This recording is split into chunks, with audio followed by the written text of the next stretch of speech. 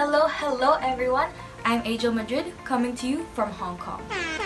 Let me ask all of you this first. How are you? Are you good? I hope you are because I sure am.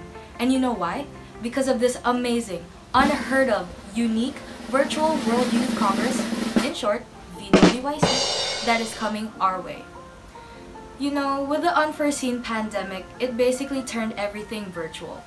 Whether it be school, hangouts, MFC youth events, and so much more. And though it opened many new experiences for all of us, such as being unable to enjoy each other's presence in real life, it really doesn't take away the excitement and joy we all have for the upcoming VWYC. It really goes to show that by the grace of God, anything is possible. Aww. Now I'm sure you've watched the past videos regarding on the updates for the VWYC. Wait, wait, you haven't? Okay, pause this video, I'll let you go watch it. Don't worry, I'll be right here. Do not worry a single thing. Cool, you're back! Now for even more updates. During the VWYC, there will be Build Up workshops. Yes, you heard me right, Build Up workshops. The different workshops will be holding different talks that will not only develop you pastorally, but also develop friendships and bonds with fellow MFC youth from around the world. Isn't that crazy to think that we're able to do that virtually is just mind-blowing, you know?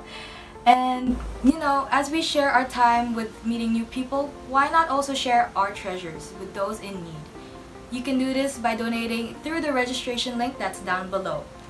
There's no specific amount, give what you can, and God will do the rest. For more information and updates on the VWYC, you can go check out the socials of MFC Youth.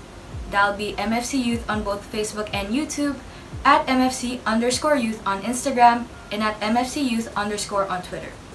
Again, that's MFC Youth on both YouTube and Facebook, at MFC underscore youth on Instagram, and at MFC Youth underscore on Twitter.